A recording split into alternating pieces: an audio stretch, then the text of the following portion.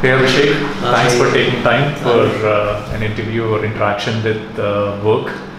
Okay, um, so uh, audience, I just wanted to introduce Abhishek Nath. He's the managing director for uh, Ixora Corporation, and uh, you know he's been doing a lot of stuff, a lot of innovative stuff, which is uh, uh, catching up uh, as uh, national initiatives. Uh, so Abhishek, can you can you just uh, talk about you. uh, how you started all this and you know how you dream about all these uh, initiatives?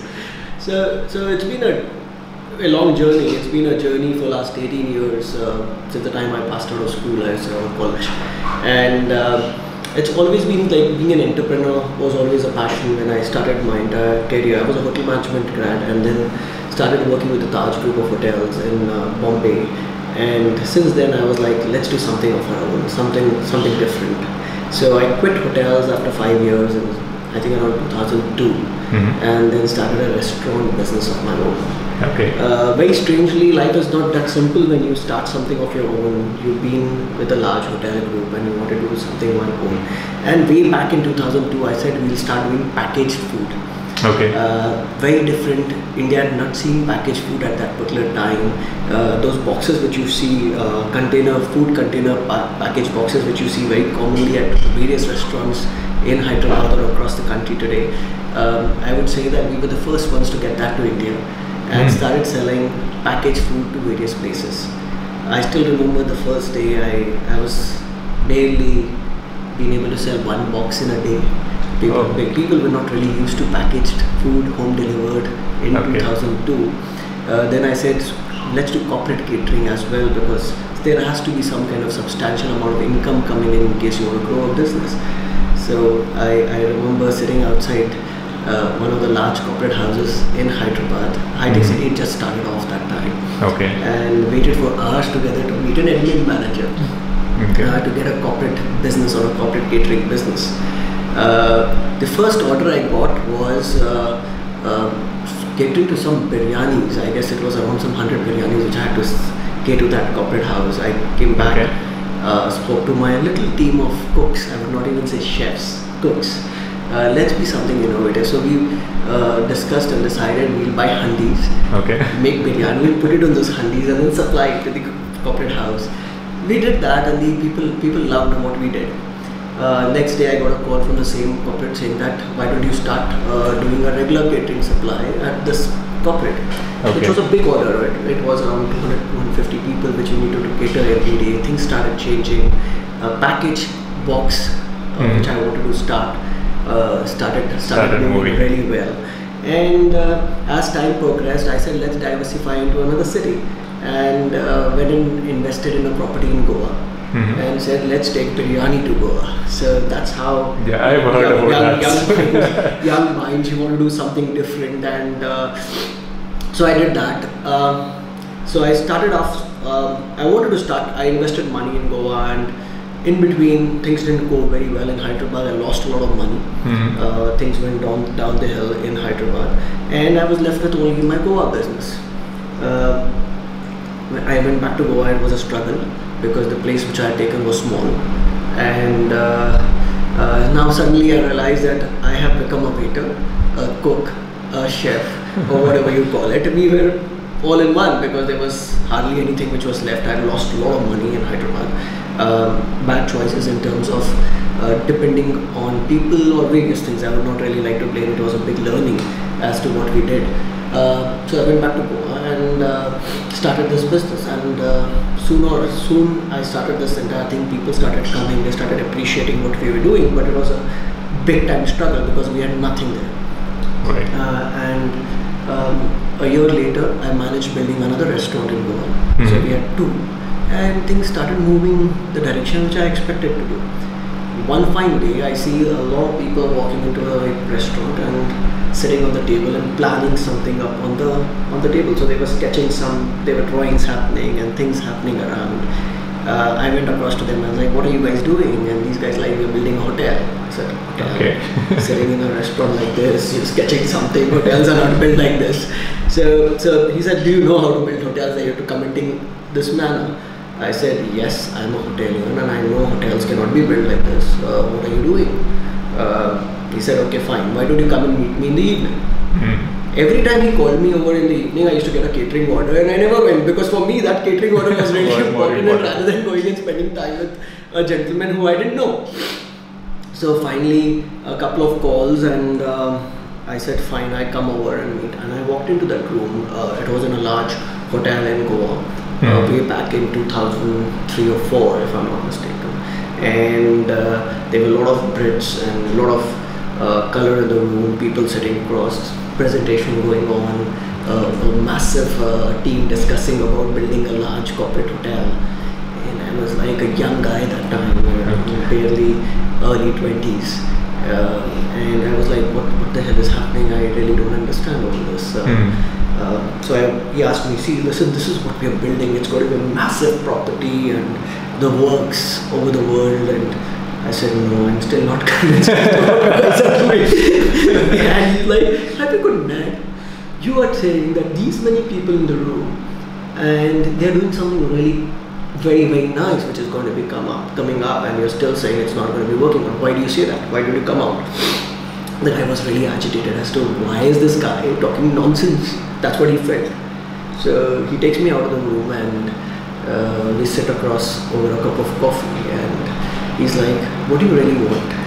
I said listen i am not here to want or ask something. You came across to my place. You invited me over here. I did come. But I feel you're wasting your money. This is not how a property can be made. I don't understand the way they're planning is the right plan, and rather you're going to be investing much more than what is required.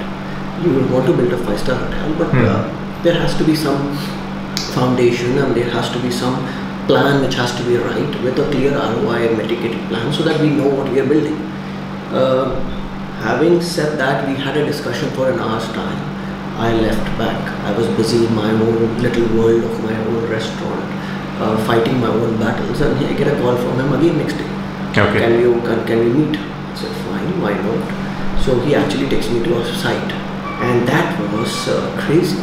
So so he, this is a beachside property. I'm going to I'll name the property as we talk, and it had uh, litter, it had grass, it had uh, it, it was in a messed up place, totally broken down huts. And I said, Is this the property you're talking about? He said, Yes, this is the property I'm talking about. I took a little stick and started marking things on the ground and sand and saying, This is what the hotel is going to be. I said, Listen, doesn't work like this, man. Hotel cannot be made like this. But anyway, the property is good, location is fantastic, it's messed up. And he had a timeline of building it in just in six months, which Oh. was crazy. We had to get all our legal permissions, property had to be built, a lot of back-end operational setups which have to be done, you know, in a hotel. It's just not just building an infrastructure; it's about services, it's building a plan, a lot of things which have to be done. Um, finally, we came out, and I was scratching my head. I said, "Is this guy trying to build a hotel out of nowhere and just in six months, and he's not even got a plan which is right?" So that evening, again the same presentation took on, and we were all discussing. I actually went out, lost my stool, and I went out and told him, "Listen, buddy, I, can't do this. It's not my uh, take. These guys have a different thought process. I have a different thought process." So he looked at me, stayed at me for a while, and said, "Okay, I get rid of everybody. Will you be able to build this hotel in six months?" I said, "The first question I asked him is this: Why me? Hmm. Why do you select me? Uh, you might get better talent. You might get stalwarts from the industry who could actually build a good hotel for you. Why me? He's like, you're a mad guy. You're a maverick. You you are crazy. Nobody's actually walked across to me and told me that things will not work out. You're the only guy who's been constantly saying this. So what's your plan? I said, give me a day. I'll come back and tell you what has to be done. I walked out of the room and started won- wondering why and what is it the right step which I need to take in life. Uh, do I really step out of my? I had already lost a lot of money. Right. Do I step out of my little cocoon of my own restaurant, which I'm planning to grow? I've put in a lot of hard work there. Uh, it was hard work to a level which was unimaginable, right? Because there was, though I come from a fantastic family, I didn't want to go back to dad and ask him money because I've lost a lot. Uh, so I thought, let's see what has to happen. Uh, so I said, fine. I went back. In an hour's time, I said, I'll take it up. He said, fine, fantastic. So six months, let's build the hotel. I said, fair, let's do that in six months. So next morning I had a meeting with a few architects and uh, entire plan as to what has to happen. Uh, started sitting and discussing what the entire property has to come out. And six months later, we inaugurated a property called the Hotel La Calypso, which is a five-star property up on the beach today, uh, valued at around 300 plus crores.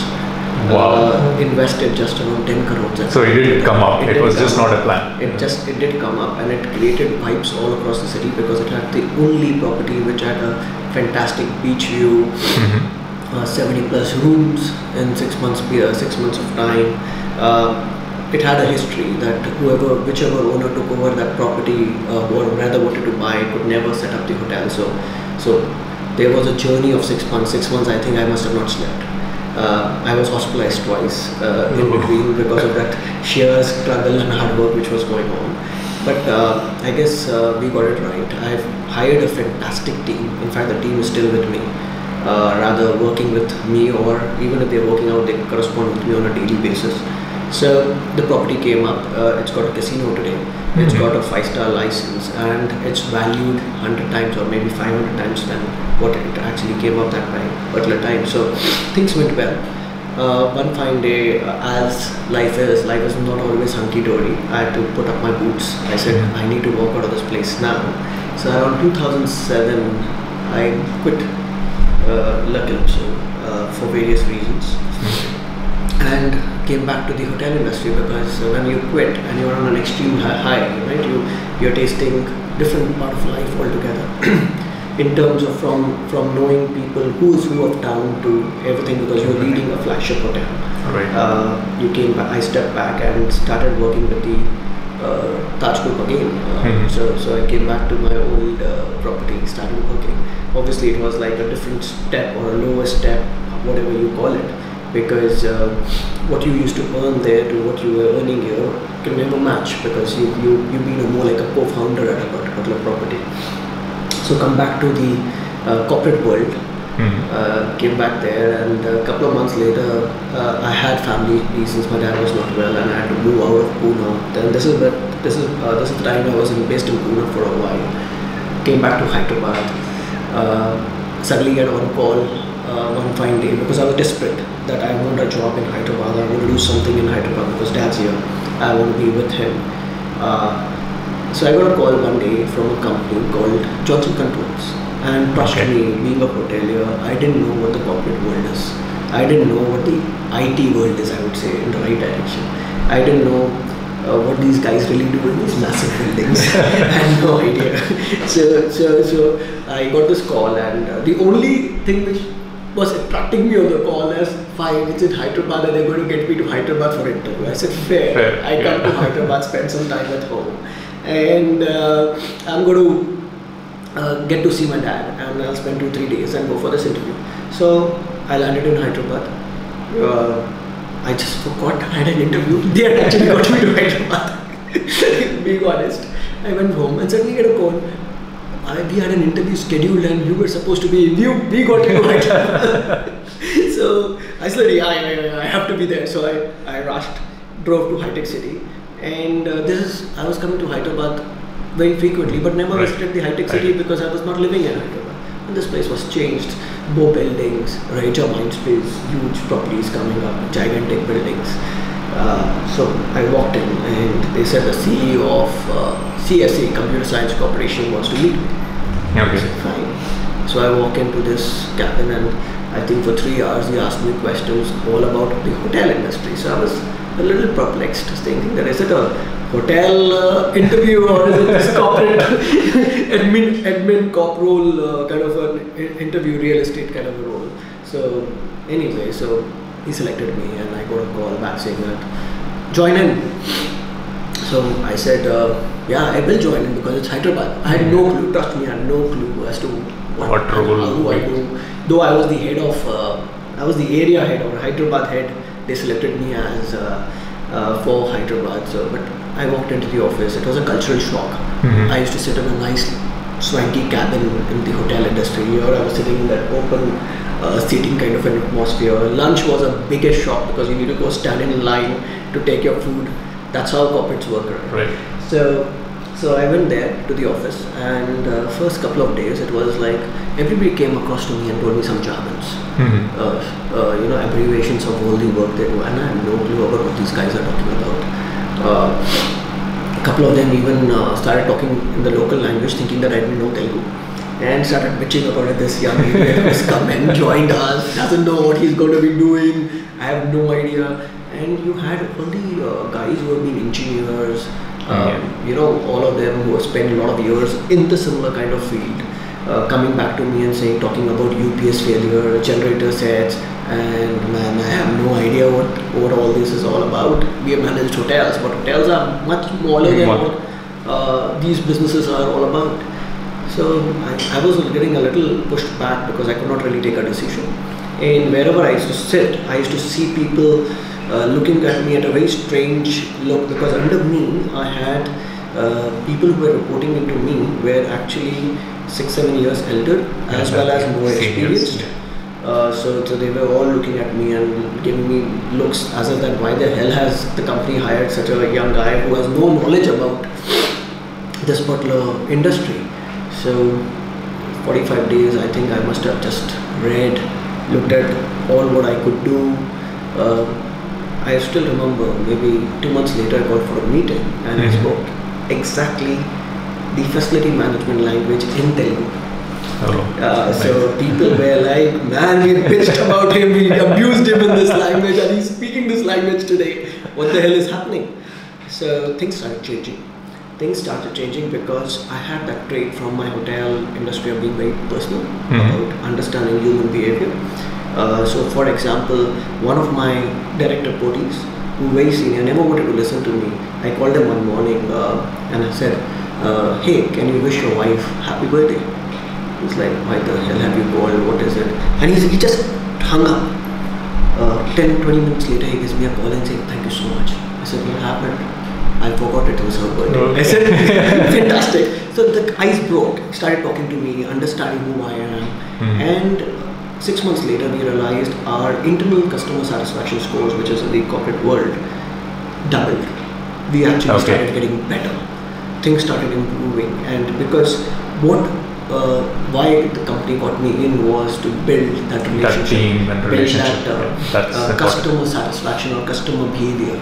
Uh, or the way we responded to the uh, to the world. That was that's the reason why they got me in.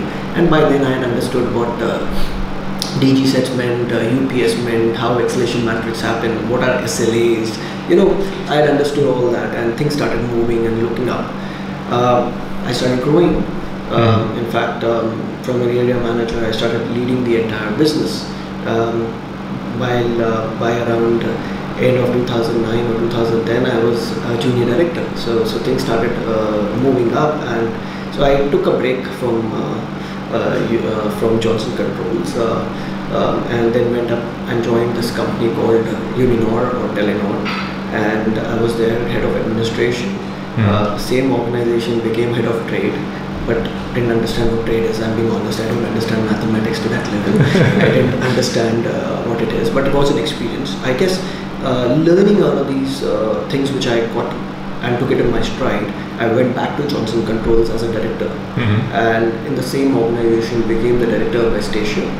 Okay. Uh, so so led the path and. Um, it, it took me to a different league of life altogether from managing a city to managing a country and then managing a few uh, or being a part of management of various uh, various larger uh, Right. nations and countries. So things started changing. Uh, I started understanding how corporate world really works, and then slowly you become more of a strategic guy, a decision maker, uh, leading a different uh, burden of life altogether. Uh, and over then, then one fine morning, uh, I was in Hyderabad. Mhm. I uh, um, thought it's time when I should explore further, further more things. So Johnson Controls uh, was a fantastic organization, or rather is a fantastic organization, taught me a lot. But it was more towards a different uh, arena of life. So there, there was this organization called OCS, which I Mhm. joined, uh, which was more people, right? It was more services. So I wanted to taste and understand how work happens in the similar field, more towards managing people and actually being a, a, a team which delivers. So, so it is a self-delivery of uh, contracts. So I went and joined them again as a director. I was leading India uh, Mhm. for operations and business development. Uh, and having done that uh, for a couple of years, uh, understanding business on both the fronts, uh, more towards the strategic as well as on-ground delivery, uh, I said, let's quit and start my own enterprise. Uh, so again, Hyderabad, obviously, because it's your hometown, people know you around. Uh, real estate value is much cheaper than what Bombay is because I was based in Bombay all my life in terms of the corporate uh, Right. journey. Uh, came to Hyderabad. Uh, goodness is that uh, one phone call to all your peers uh, that you're starting something of your own and would you like to join the journey? Everybody said yes. Yeah, that's the best part. That's the best part. Fortunately for me, 18 years of my career, uh, I guess every single person who has worked with me is still working with me. So which is which is fantastic. So so they joined in. We started this enterprise called Ixora from a very small place, uh, somewhere in Secunderabad. I first time walked into the office, I said, listen, I've been leading a now you're getting me into a five by five kind of a pigeonhole setup. This is not how we can really uh, work and really grow. Uh, but um, as you say, you need to uh, understand the entrepreneurial life Mhm. as to a corporate life is very different. Sooner you understand that, it's faster and easier that you, you understand the nut, uh, nut and bearings of the entire uh, business. So, so we had to cut that frills and Mhm. be a no frill life, which you need to transform yourself because the psychological transformation there is the most important, important part of it. Right. Because if you don't get that right, trust me, you might be living in a paradise or rather a fool's paradise that's going to happen, will never happen. So it took me a while. Um, we started it off, we backed some business. a couple of months later, we realized we'd lost everything. Because we were living or we were trying to build exactly what you have. They built it over hundreds of years. It's not going to happen in three months. Plus, you have to have that kind of a fund Mhm. to keep pumping in to really build that. It's, it's, it's very, very difficult. Very difficult. So we realized we need to cut all our frills, understand what the delivery models is. And next important thing which came as a learning to me is you could be anybody of a large organization, but you are because of that organization. It's not because of you existing there. You might garner some business, but you can't really take a lot more business, and it's unethical to go back and to those customers who you were performing or working with with the larger organization that you're going to take that. So we didn't want to do that. But people don't give you business because you have just started. They want to give you business depending upon the uh, what the organization itself has done. So Ixora has to be larger than what Abhishek is, or Abhishek cannot be larger than what Ixora is, right? And Right. if you don't understand that, the company has to be larger as an entity than an individual. And in case the individual becomes larger than the organization, the organization is never going to grow. That's true. So, so we, when we started understanding that, it took us a while and said, listen, as a credential of an organization is what has to become stronger. The foundation of the organization has to become stronger. Each and every individual of the organization has to feel and breathe the organization so that organization itself becomes an entity. Okay. Right. So Ixora itself has to be entity. Ixora is dictating us. Today we are working for Ixora. Uh, it could not be that I am Ixora, and that's the worst thing to happen. So, so we understood that. Even today, if somebody asks me what do you do, I work for Ixora. And that's how it is, and that's how it is for the entire organization at large. So we realized uh, things were not moving. Uh, we switched, changed our gears, and it is our money which we were funding it. We were we we actually not gone and diluted our organization even till date. Uh, we started bagging more business, doing it more systematically, Mhm. uh, getting onto the ground yourself to understand what exactly it was, and uh, it grew. It started moving. Uh, things started moving one by one. The FM business, which is the facility management business, with the idea we were trying to work with, started coming into light. Customers started understanding and believing into us. Things started moving, but as somebody who's always, um, I would say, edgy, who wants to do something different, um, I'm, I'm not a, I'm, I'm being honest, I'm not a patient guy, right? Uh, I'm not in the right, wrong sense, but I'm, I'm like, I'm, I get paranoid in case something doesn't go right. So, Mhm. so I like things to happen, things to move at a different speed, and I'm never contented. Never, never contented to see, oh, that's done, oh, fantastic. So my, my mind starts thinking that, okay, that's done, what next? How will it come in next? So we said let's do something in the public domain. That's Mm. where the entire thought started coming up. And the first thing uh, which came up out of our entire sessions or brainstorming sessions, which we said we will build a toilet. Reason why is because that was the most difficult area in the facility management field which we were doing. Managing a washroom because 99.9% people complained the washrooms are not good or there was an issue in the washroom. So we said let's build something. So we started our journey of building a, a prefabricated washroom. We wanted to do something different.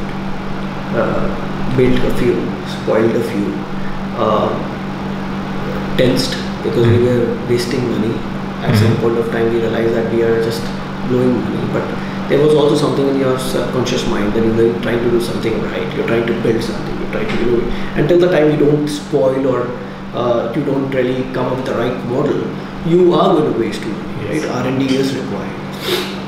So we said, let's do it. Let's let's start pushing it, and uh, we started building it. I went across to our IS officers and the commissioner in Hyderabad. I think Telangana is a fantastic state uh, with the, the youngest startup state, as our minister calls it. Uh, the IS officers here in this state, specifically in GHMC, are forthcoming. They want Mhm. to innovate and be a part of the new ecosystem of getting new things right. Uh, so there is, uh, so I walked across to a few of them and trying to explain what we do. They said, why don't you build up a model and show it to us? Okay. Uh, so we said, fine, fantastic, let's let's build a model. And which we were already building one. So we got one avenue, so Mhm. put up one structure. Uh, we said, well, uh, what do we call it? And uh, out of joint discussions, we came up with a name called Loo Cafe Okay. uh, somebody suggested the name and I was like, "Loo cafe. It's not gonna work. Who the hell will come to a washroom to eat? It's it's not gonna happen, right? So kept thinking, am I doing the right thing? Am I doing the wrong thing? Uh, Loo cafe. But then something was always saying this: the concept is washrooms. It's not the cafe. So it has to be the washroom first and the cafe Cafe. later. So Now- first and next. Cafe later, yeah. But if your washrooms are going to be clean, people will come and eat. But if your washrooms are not clean, then nobody's going to come and eat. Let's look at it on the other side. You go to a cafe coffee day, you go to a barista, you go to any place, you've got a washroom in there. But the concept they are trying to serve the coffee and not the washroom. Not the washroom. But the washroom exists. Even in that place, if the washroom is not going to be clean and stinking, and the entire coffee shop is going to be stinking, you're not going to go there. Yes. So it's, it's, it's very similar. But the scale in which they manage the washroom is very different because people are not coming there for a washroom. So we said we let's do it. Then obviously technology is something which intrigues all of us. So we said we have to have something different in terms of technology. Let's start innovating. Let's start talking. Uh, so I was reading about a couple of articles and said, uh, and then came up with this thing. The biggest challenge in a washroom is smell. Yes. Second biggest challenge is water Mhm. spillage of water and consumption of water. So, is there something which we can innovate which could actually sense smell? So, we started talking to a lot of people, understanding with our own tech teams as well, and we came up with an IoT which detects smell, detects ammonia basically. Urine has got nothing but ammonia. So we did our R&D, we put it up there, and we got an entire sensing unit which could actually do uh, IoT uh, through IoT to sense smell, Mhm. uh, utilities in terms of water and electricity. And that data started helping us to understand what exactly is happening on the ground. So we started doing this R&D in office with our own washrooms to understand whether this would actually work in the public domain. Second, we started wanting to understand, which we're still working on, is weight matrix in terms of dustbins, tissue paper holders, and soap dispensers. Mhm. We said we'll put IoT in each of these to understand if the volume goes up of a dustbin or the tissue paper gets empty, Empty. uh, or the soap dispenser gets empty, you get an indication on your app. Then the person goes and cleans the washroom. Why does why do you really need a person standing there? So this is still in progress, but the first part is done. So we put the entire Loo Cafe up. We got the cafe right, the first one. We got the washrooms right. The IoT started working, and then went back rather it was ready. The day of inauguration was up and running now. And we were told the minister of the state would actually come and inaugurate it. We were thrilled. We were going to meet KTR for the first time. And uh, So we were absolutely thrilled to meet somebody who you hear on the television regularly. You hear the intellect he carries, the, the persona he carries in terms of, and the way he's actually helped Telangana mold as a startup state. So it was fantastic to meet a gentleman with a vision. So he came in. Uh, initially, we were told five minutes, but he stayed on for 15 plus minutes, understood what exactly it is, and then said, "Why don't you scale it up?" Hmm. This was the biggest uh, achievement we felt we had, and he went and tweeted that Hmm. uh, Cafe will be 100 plus in the city. Things started moving. Uh, obviously, in the government establishments, you have to work your life through the tender systems. We went through the tender systems, and today we are building over 90 plus in Hyderabad. Um, we improved ourselves uh, over the journey. Um, uh, again, I think uh, Telangana with the leadership like KTR sir, as well as the IS officers, is, is just phenomenal. The way they are molding the entire city at large. Uh, so we we built one, and now we already have 20 in place.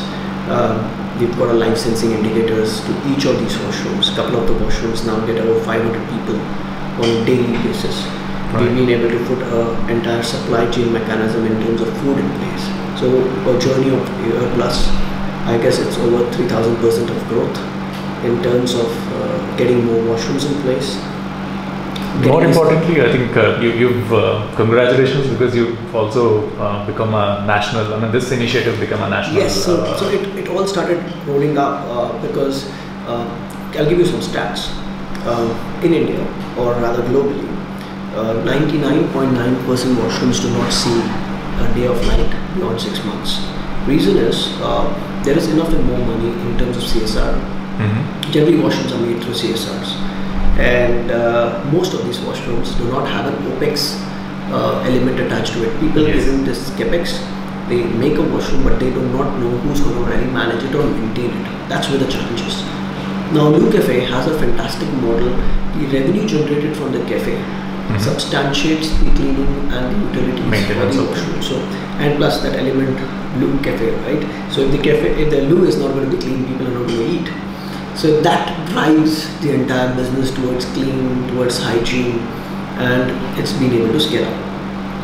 Having then we had uh, obviously we have got the Swachh Bharat initiative in, in India, which is which is growing, which is important. Uh, again, the statistics say that most of our diseases start originating from our washrooms, and specifically the lifestyle lifestyle oriented diseases. So, so so washrooms became important. So we had uh, Mr. Jindal, who is the director of Swachh Bharat, Mhm. he visited us Okay. had a look at the concept, understood what exactly it is. Then I was invited uh, by the Urban Development Ministry to showcase Loo Cafe on World Toilet Day last year at Vigyan Bhavan, which was one of the largest showcases because every municipal corporation across the country was there. We are applauded by most, invited by, I guess, everybody uh, to actually set up Loo Cafes in those cities. Uh, then I met, happened to meet uh, our urban development minister, mister Mhm. Hardeep Singh Puri, Okay. who acknowledged the importance and the sustainability aspect of the entire washroom and helped to push to a great extent. Uh, post that, the urban development ministry invited us to be a part of Vibrant Gujarat Mhm. uh, as part of the urban development uh, ministry's conclave, where we happened to present the entire showcase to our honorable prime minister.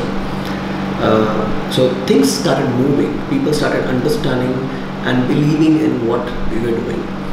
But that didn't stop us there. We started understanding when it's public, psychology of people in various areas are different. We started reinventing. Today, I guess what you see on ground is much more finished than what it was, and still work in progress. Uh, for example, uh, we've understood that uh, water spillage is the biggest challenge. So our floorings are changing. Uh, they're going to be perforated floors, which which again trademarked, and we've done a lot of work on that area where water, when you walk into a washroom, we promise you a dry washroom. Uh, we're working on getting rid of all the handles and knobs Mhm. because it has to be nurturing. Because if you walk into a washroom, the biggest area which which carries germs are your doorknobs. Right. So we're trying to get rid of that. Then there is a lot of work happening on the WC itself. We're talking about uh, segregation of urine and uh, fecal matter. Uh, we're talking about converting P, uh, P into phosphates and nitrates and then get into manure. We're converting the fecal matter into manure as well uh, through recycle. We're talking about uh, no water WC. No water urinals have become old. Mm-hmm. They are existing everywhere. So we're talking about a no water WC altogether. Then we are talking about a dashboard which gets uh, indications as to how much of fecal matter is converted into manure on a day-to-day basis. Wow. So there is a lot of work which is continuously happening and global collaborations uh, to get a particular washroom to a standard which is beyond and more. Uh, it is important because uh, two, two aspects of it. Not more than 27 to 30 percent of our waste which comes out of our I'm talking about the toilet waste uh, which comes out of any house or corporate offices is treated 70% of it is left in open drains mm-hmm. or stormwater lines so it's a big threat to yes. the environment. So washroom itself is a big subject which needs to be treated. Now, if we can do contribute even through our Loo Cafes or technology and reduce the pressure on treatment plants could help. Second, every time you flush, you are actually consuming two to three liters of water, which is a big, big water footprint. Imagine the amount of flushes which happen in a particular day in a particular city. It's, it's phenomenally high. So if that can be recycled, because it can be recycled, and systems become uh, uh, pocket friendly, mm-hmm. because not everybody like to go and put in expensive systems are even at home. So that's when the things will start changing. So the entire concept is large. People really don't want to venture now. Uh, people have started talking about it. People have started. Companies have started uh, investing into washroom space at large. But otherwise, the place is still wide open. There is a lot more in terms of uh, inventions and innovations which are required in the entire place. So that's where Loo Cafe is. It's a journey which has started, I would say. Uh, uh, good achievements, but you can't be happy with what you've achieved because there is a lot more to be done. Yes. And uh, hopefully, a uh, couple of months later, there'll be a different uh, Loo Cafe altogether because we are planning Loo Cafe Waterloo, mm-hmm. which is in collaboration with British Council we are working on a Loo Cafe Green, which we are changing every bit of element into recycled plastic. Uh, okay. There is something called Loo Cafe Gold, which is going to be lots of tech and innovation where you could really come and use that and be happy. Uh, it's going to be a next gen uh, kind of a uh, the different space. premium experience for the customer. So yeah, it's, it's important, right? Every time you walk into the washroom, it has to have an experience. So we are trying to build that uh, we've already been able to build or rather to some level build a lot of lung spaces around it which for me are very very important mm-hmm. uh, reason why i say lung spaces are important is because as it is our cities are polluted today uh, so having small corridor, small uh, tucked in lung spaces, maybe vertical gardens or a little green area around the washroom really helps. Uh, yes. Plus again there's learning, right? Uh, because uh, they give in fresh oxygen that also helps in reducing smell and various other elements. Recently, I was speaking to a very learned gentleman who told me about the chemical composition of jasmine oh. and how jasmine could actually help in treating smell. So, so there was a lot of dialogue, a lot of uh, collaborative approach which we keep doing on a daily basis uh, to take this entire journey ahead. So that's one part of our uh, uh, our, our life cycle or rather we spend a lot of time thinking and innovating on the washroom subject. Plus we also do a lot of uh, waste management. Mm-hmm. Uh, we are into uh, converting food waste to gas, biogas. And we are even talking about converting biogas to CNG. Uh, so there is immense amount of work which happens. But I guess whatever we do, it's, it's a lot which happens through passion, a lot which happens through a thought to prove something different try to do something different but in the boundary and scale which we are allowed to reach because sometimes uh, in the in the in aggression or in the in the in the mode of doing something different you actually step the boundary which becomes dangerous so we, yes. we, actually discuss decide but most impromptu dis- discussions and decisions uh, sometimes help sometimes doesn't help but if you are doing if you want to be an innovator uh, two things which I personally feel talk. Mm-hmm. Uh, a lot of people in this world believe that if you have something different, don't talk. Keep it close to your heart. I don't. Yeah, I think that's changing now. It's changing. You have to talk because if you talk, it might become better. There might be critics, hundred percent. There might be critics. There might be people who want to go and copy it as well. But if you have got your thoughts right, if you have got your concept right, even if somebody copies, you are the boss. You will lead it. You are going to. Uh, You're the first one you're who's the first one. certified. You're going to you're going to, you're going to get it right, right? Because you you passionately driving it.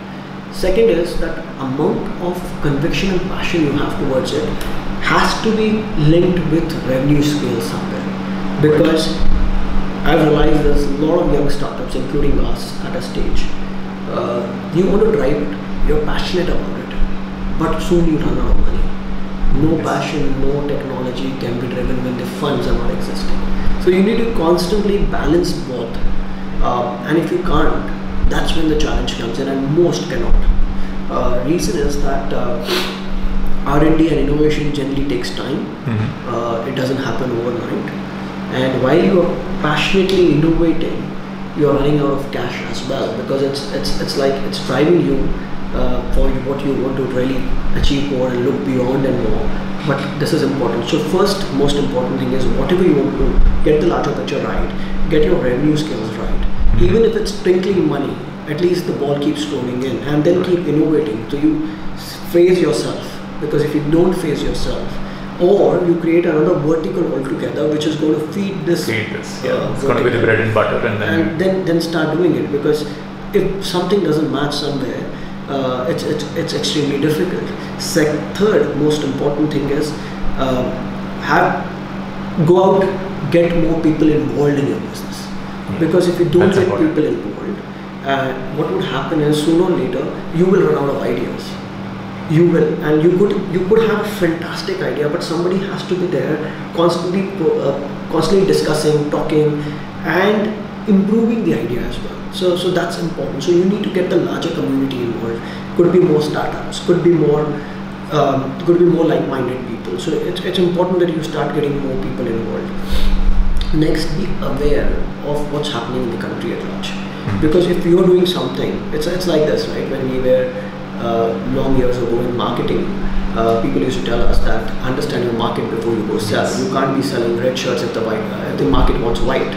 So you need to understand what you're innovating. Is it with time or is it without uh, something which is way ahead of time? So timing is really important. You need to understand what exactly is what the market is wanting at this particular stage? Because you might be fantastic but if it's There's it's no not in demand, the it time doesn't work out. it doesn't work it's not really work.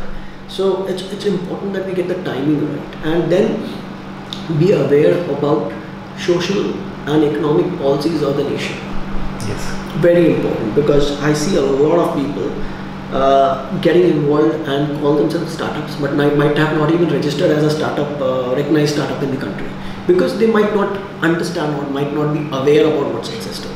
So, so getting yourself aware about what exactly is in the ecosystem at this particular stage. Nothing's easy. Uh, trust me, even for us, to get the first things right has been difficult, right? Even to get your forms right, even to get your paperwork right. But it is, important. So get the ecosystem right. If not, then seek help because there is a lot of uh, the ecosystem has become much more friendlier than it, what it was a couple of years Okay, ago. yeah. Uh, seek help, and I guess there are uh, many young entrepreneurs like you who could actually help and assist younger startups in getting them a clear ecosystem as to what has to happen. And most important thing out of which is patience.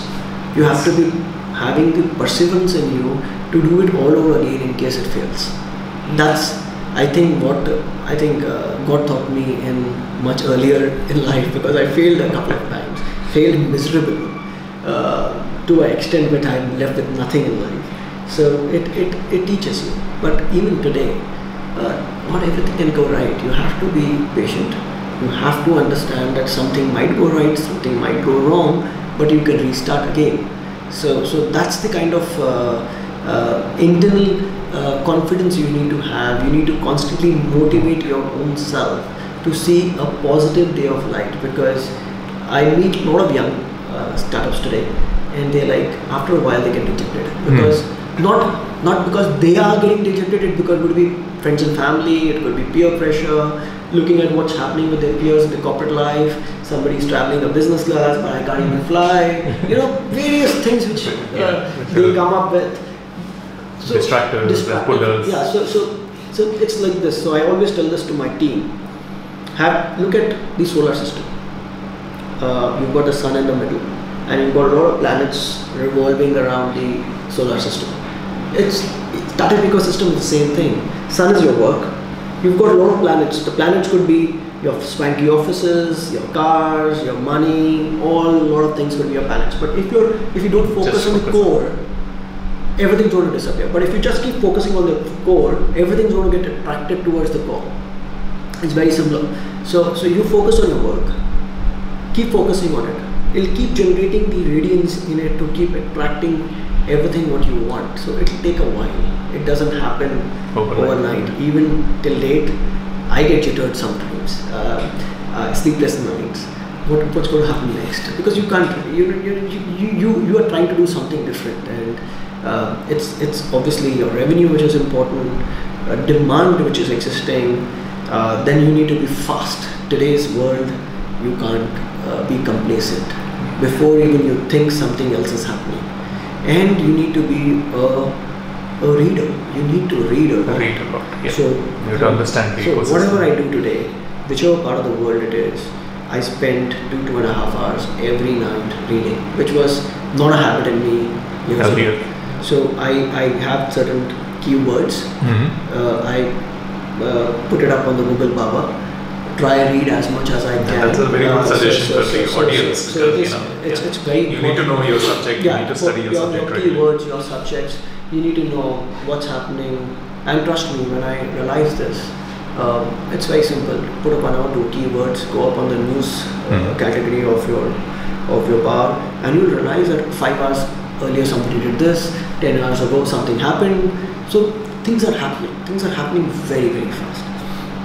So unless you keep reading and read it to a level where you keep thinking to yourself, where am I standing in the line, right? Yes. You could be way behind, so you need to really uh, buck up. You need to be very fast. So that gives me energy every morning. That I read, sleep. When I get up, I know. Listen, I'm behind. I need to catch up. I need to do something different. I need to push. I need to push my teams. I need to really talk, and then interact as much as you can. Uh, it's it's super important. And sometimes interaction with a different genre, gen, uh, different kind of people is important. So, so like for example, uh, I go to schools sometimes. I speak to kids. Mhm. Uh, sometimes they give you different ideas, and sometimes these ideas could be sounding stupid, but actually could be fantastic. So, so we, I guess, this ecosystem here interacts with various peoples at various times, and then put them into a funnel, and then we keep talking more Talking more. because that would really help. Uh, so that's helped us scale to the journey where we are. I would not say we've achieved a lot, but yes, there will be considerable amount of achievements over the last three years we've been existing. Uh, sometimes, uh, many many years ago, somebody told me in Gujarati there is this phrase that if you last your business for 100 days, it's going to survive. Uh, Oh, so okay. that, that, that's what that's what they said. And actually, if you look at it in a very different angle, your banking lines only start after three years. That's all thousand days. So that's how they talk. So old day, olden days, they used to say that 100 if you if thousand days. days, thousand days, if you last a business for thousand days, you'll you've survived. You will survive. Uh, and if you actually go and understand the Indian banking system, till the time you've not completed your three balance sheets, nobody will even give you a single rupee. So, so that thousand days is very important, and you need to be focused on one particular business, getting that right, whether and getting the paperwork right. Because again, uh, uh, uh, uh, something which has been a learning for me is a lot of people start Mhm. without having a clear uh, private limited or an LLP when they start Registration, business. okay. They've already six months, seven months down the line. They wasted six months. Now they want to restart the paperwork, which is actually going to delay them by another six months before that three-year clock in will happen. So if you're starting something, it doesn't take a lot of money.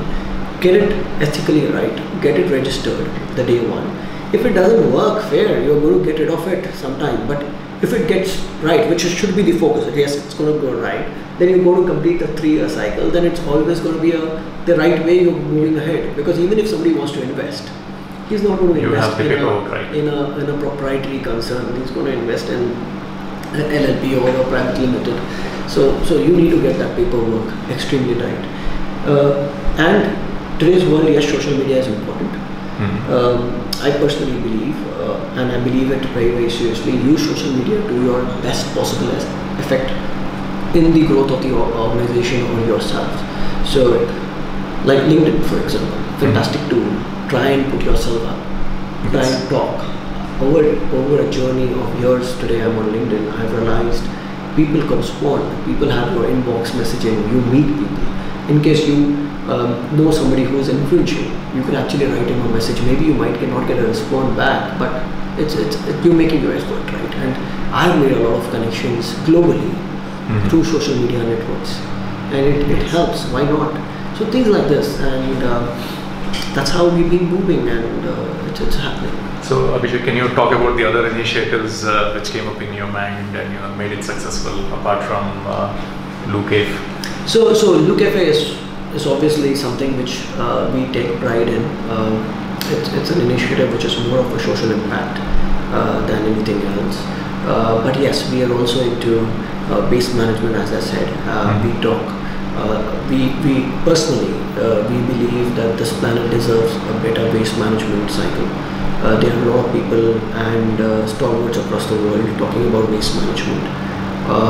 But till date, um, I guess there could be solutions, but there is no holistic solution because it's it's a it's a very deep-rooted problem, right? It, it originates from every single individual's psychological change to the end process. So we we are tiny bit in the entire uh, ecosystem. Uh, we we've started uh, building or innovating biogas plants to start with. We've done a few in the state uh, state as well, where we convert food waste to gas and then convert that either the gas which we generate either into CNG or into electricity. Uh, and it's a topic which we are we closely monitor on a day-to-day basis. Um, there are global expertise at this stage, and as well as a lot of people across the world are talking about uh, uh, biogas and waste management processes. So we uh, try and understand, lead this entire thing. Though we have an entire team who are experts into this entire uh, domain, which Mhm. talks about waste, and we are taking it to the next level. So, so um, I guess the first steps have been fantastic. Um, in fact, uh, there are a lot of learnings. We are trying to again uh, work towards the uh, pocket-friendly kind of a concept where it becomes sustainable for even an individual home uh, to start using this and drive the entire initiative to the next level. So that's that's where it is. So there is a lot uh, which we are working on at this stage, and I guess we all revolve around that ecosystem of clean uh, waste, happiness, and we have a tagline which says, uh, "Let's spread the joy of clean." So, so, so that joy is what we are actually working on, and uh, happy to take it forward. The best part is you're actually closely working with uh, some of the government initiatives and the national initiatives which are there. So it takes a lot of guts to actually deal with government and uh, you know the mindset that yes things can happen with uh, So- the government. So what are your thoughts so, so on that? I, I would, I would, I would never say this. Uh, it's our nation. We're all Indians. We love our nation, and the government of the land is also fantastic. Uh, there's a myth uh, which you say that uh, it's difficult to work with the government. It's absolutely a myth. Uh, we are all part of the youngest state in India, the startup state, Telangana. I think uh, hands down, hands down, this is one of the best states to work with. Uh, you've got uh, the best leadership, Mhm. and I personally feel uh, because I'm a clear example. I didn't know anybody in the state. I, though I came from the state, I didn't know the ministry, I didn't know the IS officers, I don't know anybody around. But if I could do it, why could not other startups do it? It's about the approach, how you perceive it, how do you take it across, how do you read the matter, how do you understand what's exactly up on social media, how do you understand each government body also has a process to be followed.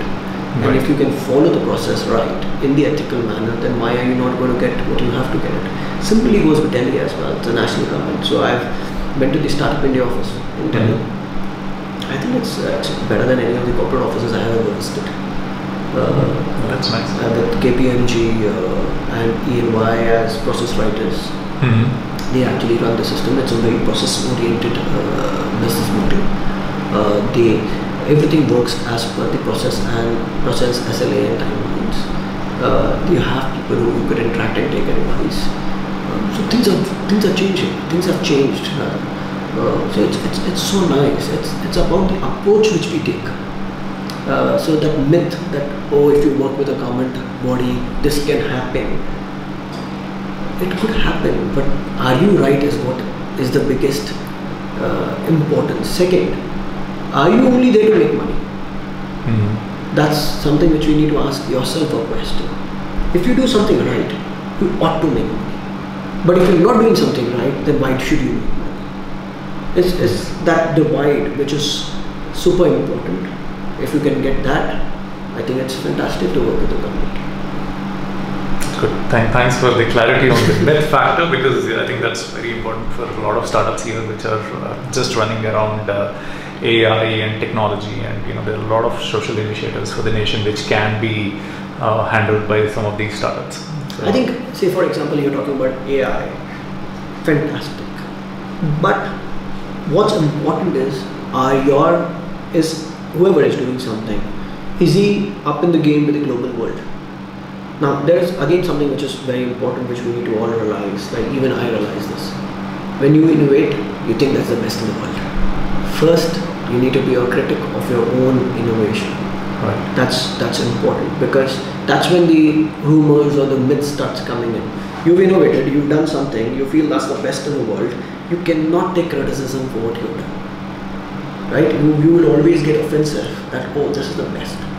You first have to create something. Look at the global scenario. Is there somebody better than you Mhm. from any part of the world? If there is would you like to collaborate? What are the tools to collaborate? And if there is not and you are genuinely the best then you need to have a process to take it forward to the world.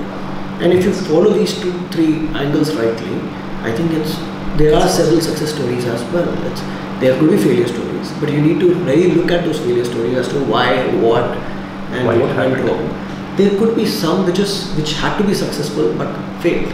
Could be a iota of luck somewhere but that's there that's part of life.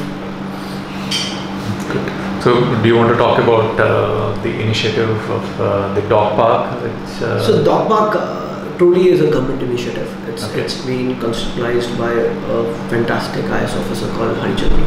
Mhm. Uh, she uh, made the entire park in place, and we managed the place today. Uh, but I guess I would I would say that uh, again, uh, the as as what I'm saying is the government is changing, right? These IS officers also have been educated in London. Uh, they've actually gone through economic schools. Uh, they could be having, they could be doing great jobs somewhere around the world, but they have uh, Dedicated they have- themselves They have constant, uh, they have conscious decision to be part of the government and take this entire initiative forward. So things have changed. They they really think differently. Uh, they look at innovations differently. I guess it's the people and us who need to really support what the change is coming in. That's where I would take it as. One thing I've observed that you know, you you know, whatever initiatives uh, you take, it's always a premium stuff. You know, it looks good. It's like you know, the fabulous thing. It's sort of a wow approach uh, whenever you know, So- whether it's a customer or a partner who is doing it. So, what, what's the idea behind that? You know, you you, you made like Sulabh Complex uh, a five star uh, toilet facility Yeah, so- again for free of cost. So, Uh, It's, it's not, it's, it's, I would say I'm a little uh, paranoid. mhm. Um, I'm uh, very, I'm a guy who likes something which is perfect. Uh, I get very edgy about small things. Sometimes people call me old man. Um, and I'm super passionate. So if it's a Loo Cafe, um, you would actually see me standing at a Loo Cafe and selling. Just a couple of days ago, and I was at the cafe selling coffee and chai. I have no egos to do that because it's, it's something which I need to learn. And I was doing it, and I was wearing this black Armani shirt. And the guys buying from me is like, "Who are you?" I said, "I'm working here." He said, "No, you're not working here. Who are you?" I said, "Why do you ask me that question?" He said, "I'm sure a pantry boy or a salesman would not be wearing an Armani shirt and selling coffee." So I said, "Listen, I, I, I am so and so." So I walked out and made a friend out of him. So, but what I learn is when I go stand there myself and understand what exactly is happening on ground, is a different thing than what being in the boardroom and understanding what what's happening on the ground. So every day, uh, consciously, I take a round at five o'clock in the morning. I go every location every morning to understand what exactly is happening.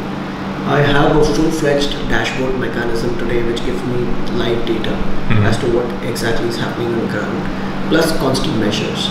So there are, it's not that we, we are right, we fail. There are a lot of areas which still needs improvement because we're dealing with humans to a big extent and free washrooms. Uh, but at the same time, uh, what I've realized is that that thing of leadership being in trying to be immaculate or being clear in what is required slowly steadily starts cascading down the team like for example i'm super passionate about my plants though Mhm. they are in open domain they are though they are on the streets and often dry up because of various reasons i get super upset uh, because i feel that they should be nurtured equivalently to the to the Loo cafe which is there they should look really nice and green now people have started understanding over a period of time that he's really he gets really upset in case he doesn't see the plants right in that area. I'm, I'm, I'm very conscious about smell.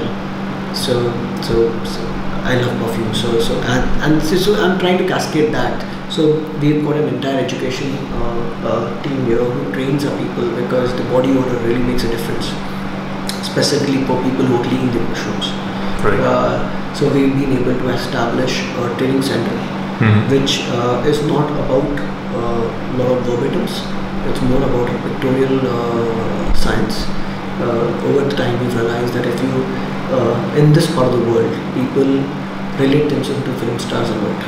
Yes. So if you go back years ago and go to saloons, you should have you used to always have various celebrities and their haircuts pasted Yes. all around the saloon and men used to walk in and say, oh, मेरे को ऐसा वाला haircut करके दो. So we've incorporated the same thing here. So we've got this entire thing where everything is pictorial. Uh, people walk into the room, understand why it is a need, and everything is related to some pictures. That's slowly changing them to transform because uh, they are people who have never been ab- either never done a job till date or they are their first jobs. They want to really understand, and uh, a cleaner generally feels there is nothing beyond in his life apart from just cleaning those washrooms. But no, Yeah. that's not true. Uh, we've got managers now who was who started as a cleaner.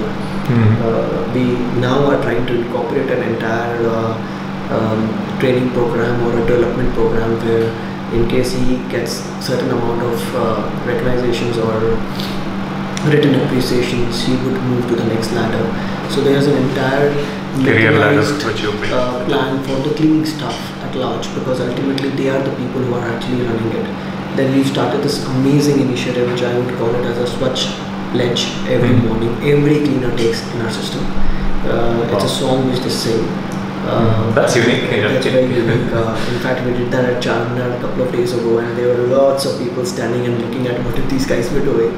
Uh, so it's a fantastic thing. They actually take a proper pledge Mhm. uh, about cleaning before they start their activity, and we see uh, that's transforming them because they are actually doing this every morning, and that little change makes them feel that something is different. That pride uh, when we are working on their uniforms, um, we want them to look really nice and smart.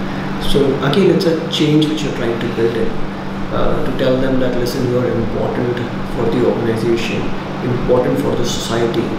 Uh, there were there were days where we've gone and had chai with most of our cleaning staff, and imagine a day in Hyderabad if those amount of cleaning staff from GHMC have not cleaned your streets. It's going to be a nightmare, right? True. So that importance, if you start building that into their uh, thought processes when the change comes up. So that's that's what we're trying to. do. Well, Abhishek, one of the you know uh, biggest things, or uh, you know, one of the uh, what I like about startups is uh, you build your own team and you know you uh, become an employer. So, what what's your team size now? You know, you you, you know uh, Yeah, from somebody who's failed multiple times and now is employing X We, number of employees. a thousand plus people, Wow. large, decently large. But uh, I don't believe that you become an employer. You are still an employee of the organization you're working for. You are one among the thousand. Yes, you're sitting on the top of the table, trying to lead it, but it comes with a lot of responsibility because your decisions are going to really get the bread on each of their families. Yes. And if you take a wrong decision, you're going to actually uh, be negative to those amount of, or you're answerable to those amount of employees who, or, or your colleagues you actually have in the system. So scaling up is good, but scaling up uh, with a lot of thoughtfulness is really important. Sometimes uh, you go wrong, but constantly you need to keep reminding yourself that you're not dealing with your own family anymore. You're dealing with a lot many families. That empathy, uh, which has to flow in, is important. With a very, very clear line, you can't be God. You can't do everything right. Right. Uh, which again entrepreneurs fail to realize sometimes, which I even I failed at a couple of times that you want to do everything, which is not possible. Uh, that thin thin line that somebody told me that listen, you can't be God is important, but at the same time, that empathy is also extremely important because you need to be clear as to what your colleagues or your people on ground expect on time to time basis. So your process framework has to be perfect. Yes. Uh, you need to be, uh, as an entrepreneur, you always uh, try and cross the line which you need to stop and say that let the processes take over. And you follow the processes yourself first. So uh, that's important. Like, for example, for me, when I started off uh, a few months, I was sharp at 9 o'clock in office. A few months later, something went back into me and started coming at 10.30. Then I got a kick on my own butt. Realized that everybody office started coming so then I said, realize that no, it's not going to work. If you if you become complacent, you need to have the process. The process says 9 o'clock, so you come at 9 o'clock. You, you lead by example, and that lead by example cannot just change uh, suddenly. So things like that. Uh, it has to be processes, it has to be an SLA, and it has to be uh, a clear-cut uh, thought process which has been planned, mitigated, and educated to the larger group of audience. This is how the organization really works, and the the, the rules are similar for everybody in the organization. So that's important. So how, how do you motivate your uh, team members, this large team? So we have got frequent R&Rs. Um, it's like this, your energies are contagious, right? So if you are energized, you have that positive aura among you. Um, I've learned this over time that everybody in this world wants to have somebody who they idolize, Yes. right? Could be anybody. And uh, if you can lead by example and keep yourself motivated and energized, you will be contagious to a larger group of people. And if you go across with that larger group of people to your shop floor people, they are going to get energized themselves. So how is this entire flow of energy going to come in and flow is extremely important. I think that's the uh, crux of the entire uh, matter. And uh, yes, we have R&R functions, we have games, we have sports, uh, we also have educational functions. We communicate aggressively to every single person on the ground uh, and celebrate together. So I'll give you an example. Uh, this time, the Ganesh festival. Mm-hmm. Um, you see, uh, every year there used to be a lot of people, and I used to keep wondering why every street get jammed. People are dancing. What the hell is happening? You know, that's the typical psychology. Don't, don't get me wrong. And uh, sometimes you wonder why. Why is all this? Why is this entertaining? Mm. Why should you do all this? Do it in the right direction.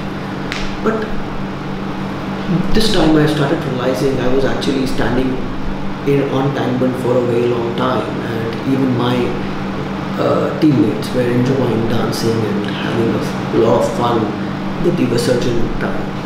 I realized there are not a lot of avenues for a larger group of audience or larger group of the society at large. These events bind them Bind together them together, yeah. and they let them vent out their feelings through an emotion of dance or music, which is the best way to do it. And if you start curtailing that, is when the problem will start. But what I realized out of it, for my little example, is I had lots of people dancing together, enjoying together. Uh, people who were not close in office started suddenly binding themselves, and they started enjoying themselves, and that change of enjoying a festival together is something was also a part of your culture which the companies have to start building, or specifically the startups. Because those little things, and specifically Indian specifically are emotional, right? These things connect us. And those connects take you a long way in your journey because your journey is not going to be constant. It's going to be high lows. And if your teams can stand with you when you're at a low, without letting you feel that you are at a low, is the is the biggest win.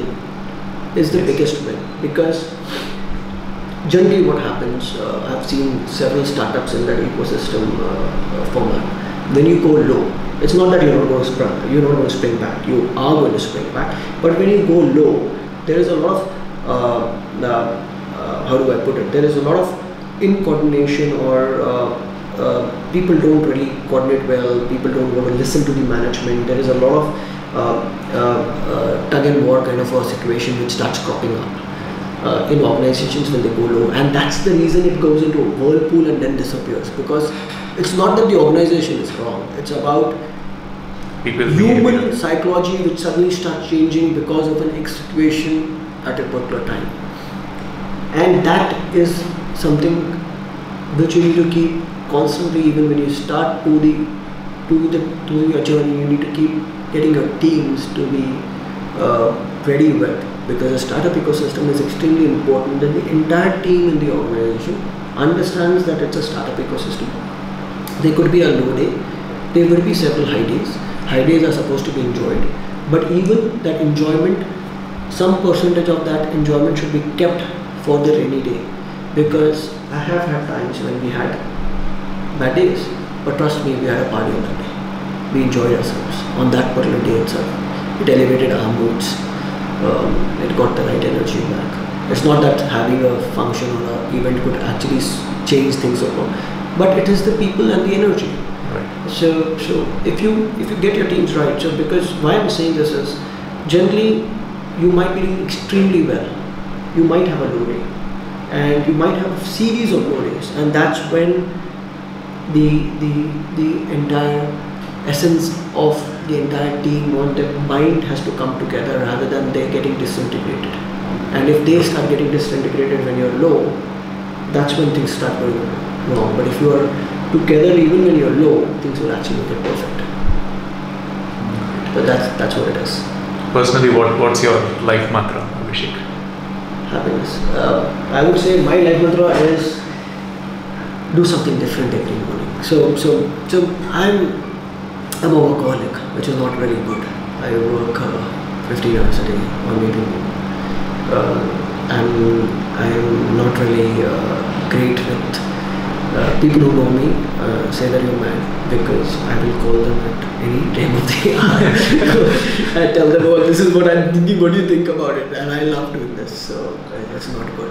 I realize with time that people have their lives and families and you can't really bother people uh, but yes, fortunately for me, I have uh, some lot of people who are also as crazy as me, and they they know this guy is going to call at two o'clock or three o'clock in the morning. I have come to office at three and four in the morning and started work. So, so I'm uh, my life mantra is to keep yourself motivated, keep looking at different things, uh, progress. That's what it should, and uh, be positive. That's the most important thing because I've realized uh, I had the as I said I had the worst nightmares, and I'm sure anybody who sees this video would not have, uh, should never go through what I've gone through. I've gone through days when I didn't even have food to eat, so because I had nothing, uh, and uh, it, it it all came back, and uh, it happens. And I had I had uh, uh, even when I was high in life, I did all my mistakes in life. So, so, so I did everything wrong and right. So, so I did. So, so it's, it's more like uh, if somebody who knows me very, very well he's like, this guy is totally mad, he's done the worst in life and then came back and then when life is going well, also you go and create ruckus for yourself. so, so I've done all that. So that's, that's where it is. So what are the three suggestions you want to give for uh, a startup founder or an entrepreneur? Three suggestions. In fact, I've actually spoken a lot about it. I think uh, uh be, be patient but impatient it's mm-hmm. two different contradictory statements. Patient in areas where you need to be patient. but impatient in areas where you're innovating, you're doing something different. You need to be really up and on top of the game. You cannot be complacent. Then be perseverance. There has to be a lot of perseverance in you because nothing is gonna move if you're not constantly at doing what you're doing. And today's world, most importantly, be a people's person. Okay. Because uh, life is changing, world is changing, people understand a different. Uh, uh, they believe in empathy. They believe in con- conversations. People, you know, things have really changed. There were there was a different time years ago when it could be different. But today's, if you're not a people's person, it's very difficult to actually go through it. You see, the biggest corporate giants today want to be the people's person, and most importantly, step out of your comfort zone. Uh, you see uh, the biggest giants across the world. You keep reading about it today. Go out running. Uh, if they are in wind, uh, they would actually go out wearing a, a sleeveless T-shirt and want to run in the wind because they want to get out of their comfort zone of that swanky offices and get your bodies into a different terrain. So similarly, a startup ecosystem. Never come into a comfort zone. Every day is a new day. Started with a new thought process. Be persistent, but keep your foundation and your vision clear. That's extremely important. So that's what it is. Great. So, any, any suggestions you want to give uh, in terms of work-life balance? I'm the wrong person. I'm absolutely the wrong person. I have no work-life balance. Um, uh, uh, I, I, as I said, I work 15, 16 hours a day. Even if I'm home, home I'm home away because my mind's somewhere else. uh, so, so I'm not the right person to give that suggestion of a work-life balance because I don't have one. Being honest. Um, um, it just recently that I've stopped living out of a suitcase. Otherwise, I was living out of a suitcase for years together.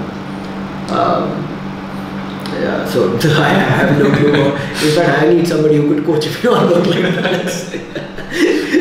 I, I, I barely see anybody at home. I'm being very honest. Uh, barely see anybody at home. Uh, uh, I have this uh, weird thing which keeps playing in my mind most of the time. Um, I want to do like that difference, right? That as, as I said, it's, it's it's a it's a race which you're running, which is good on bad, but. Uh, you want to achieve something good. So I'm, I've got a different thought process in life. I believe uh, my life is a journey, a journey to accomplish something, and I look beyond life. So I don't, uh, I'm, I'm not, I don't really get attached to this uh, journey of life with a lot of friends around me. Mhm. I want to walk this journey to achieve something and create an accomplishment of a name beyond my journey. Uh, so that's my way of thinking. So I do not. I'm not one of those guys you will find that uh, he gets really upset if he doesn't reach home at this particular time. Uh, you might say that oh he might not have pressures from home. It's all same as you I get a lot, I'm under a lot of pressure. Why not home? My mother calls me. All that happens, but uh, but I am not now with time we all realize that uh, this guy is not one of those guys who uh, gets uh, into that kind of a shell of leaving everything so they leave me alone to, to do what I'm doing. And uh, my, the most important thing at the time your conscience is clean and you're doing something right. It's, it's perfect. So, so that's where it is. Now, Abhishek, there is a lot of downsizing, a lot of industries are down, a lot of uh, you know employees have been you know let go uh, because uh, the industries are not doing uh, good, whether it is telecom, automobile, um banking. So, what do you suggest, and do you have any suggestions for some of these uh, people who are coming out of uh, these industries, were having experience only in a specific domain? See, it's, it's, it's, it varies from people's mindset to others. Uh, everybody of us uh, has gone through various downsizings in our past. Either you being a, you being a part of the downsizing, or you are one person who are doing the downsizing. So, so you being you've gone through all this. There is goodness in everything which happens. Whether you are you've left an organization or you are a part of the organization. The only thing which we need to understand is if you are out of an organization, you need to put your thoughts right. So I'll give you an example.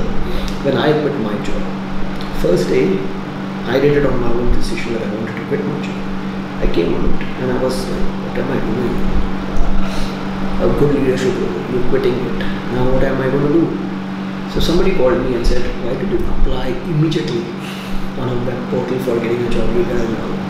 I said, yeah, I should, yeah. I don't know why have I done this. why have I quit? I don't have, no, I have no idea what am I going to do. So I logged on. They told me, I'm not going to name the website, but they told me go up and pay that amount of money so that executive search engine and stuff like that. So I did that. I, but I was not happy doing what I was doing. So one important learning there was be very clear what's your achievement, what what gets you happiness, and is that going to be constant or is it momentary just because of the situation where you are? So that decision most of us can't really take because we take decisions depending upon the situation and the moment where we are. in. So we need to be stepping ourselves out of that particular thing and saying this is what I'm going to do in my life. I could not. So as Indians, I went to a astrologer. I said, listen, tell me what's going to happen. yeah, You really did that? Yeah, actually did that. Tell me what's going to happen. Is it, am I going to be an entrepreneur? How the hell can somebody tell you whether you're going to be an entrepreneur? But take it, you're, you're, you're scared. So then I came back and I said, okay, 10 days, I get a job. That means I'm going to. That's your destiny. That's my destiny. Otherwise, I have to be an entrepreneur. Trust me, it was 10th day and I kept flipping coins. I did all that nonsense because I had no clue where my life was heading. Though I took a decision that I want to quit and do something of my own, I was still, because I didn't even tell my family that I've quit quit a job. Nobody knew that I've quit a job. so I didn't know what to do. And your, your paycheck at the end of the month is not going to come in. So, so you didn't know. So, uh, 10th day, I did not, I said, now is the time. I need to get away from what am I doing, get my mind clear, exactly what I want to really achieve in my life or really do in my life. Even if I get a job tomorrow morning, I should not really go for it. And I'll stick to what I'm doing. Can I take that decision, which is my own decision? Trust me, that piece of self thinking, putting yourself away from the world, away from the moments, away from all the negativity or positivity which you are thinking at that particular junction, I took that call. Exactly 14th or 15th day, I I got a fantastic job offer. I just shut my computer and said, No, I'm not going to look at it. This is my life. I have to focus on this. And you walk. So it's, it's important that how you take a decision, what you want to really do. You might leave, lose a job. You might be in that momentary Uh, um, uh, phase of mind where you want to go and achieve something and you want to really do it quick because what happens, you know, end of the month is really important for lots of people in this world. So they, so I'll give you another example. Years ago, I quit my Goa hotels, and again, you know, you want to do something because India there's that myth, right? A boy cannot Ah, be out of job, or how can you be out of job? You have to be doing something, you know, that kind of thing. What will I go tell the society? What do I do? So I stupidly, sitting in a coffee shop, somebody said, "You have the knowledge. You are travel agents." Okay. Good idea सब hotel वाले चलते हैं travel agency कर लेते हैं पैसे कमा लेंगे आहिस्ते से ट्रैवल बढ़ा देंगे I went and invested 15 days I lost everything because because the issue is you are taking those impromptu decisions. Take it, then stick to it. But then you lose your nerve if something goes wrong. Yeah. Either I would not say me taking a decision of opening a travel agency in an interim kind of a situation was wrong. My decision of not sticking to it was wrong. Yes. So if you taken it, there will be some hardships, or it could just fly. But you need to be clear about what you're doing, and I think that clarity of thought, if you get that right, if you're out of job, keeping emotions aside is if you can do that is fantastic. Now the challenge comes in by a lot of people saying, "Oh, listen, I have a home loan going on, I have a car loan going on, I will have to downsize." No, you don't. You need to face it up straight there are options available. Sometimes they are not. You might get a little delayed in certain amount of commitments, but you face it up straight because you cannot run away from a situation. And Yes. 99.9% times issues happen when you start running away from situation or uh, procrastinating it for the next day or a couple of days later saying that okay अभी मैं 10 दिन बैठ के सोचूंगा क्या करना है उसके बाद देखेंगे by then your EMI start hitting then you again come into an emotional uh, turmoil and then you take another decision these decisions are spoiling it earlier the better. It has to happen. Take a decision. Stand by it. And then go with it what's going to happen worst? Nothing. Even if you fall there will be an again an opportunity to rise and stand back. I know several people in this world who have gone into dumps. They have nothing left and they again stood back and they're doing fantastically well so, so things happen. There is nothing. It's that decision making ability at the right time and that decision has to be truly yours not even your family's Yes. because another example I'll give you. My father was a dental surgeon.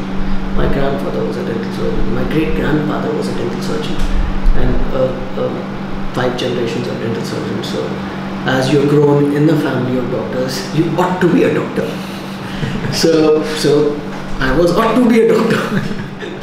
uh, so started off, and see, I think that's when the influencing aspects start coming in. So uh, I went and joined medical school after college. Mhm. I was a decent ranker in science, so ought to my parents felt that he'll be a doctor. They helped me to get a.